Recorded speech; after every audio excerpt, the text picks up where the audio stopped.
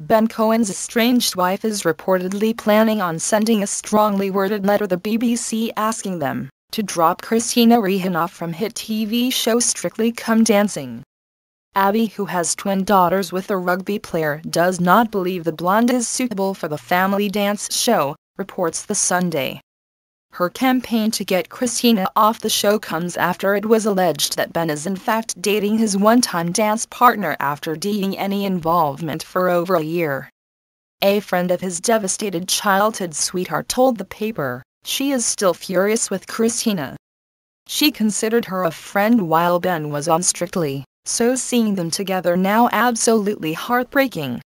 Kristina and Ben still insist nothing happened between them while the show, and say they only started seeing each other in recent weeks.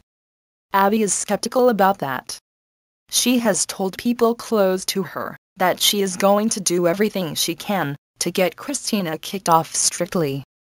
While Abby and Ben split September last year, it was only last week that Abby filed divorce after he allegedly admitted dating Kristina, claiming it had only started recently. Some people come into our lives and leave footprints on our hearts, then they make us want to leave footprints on their face.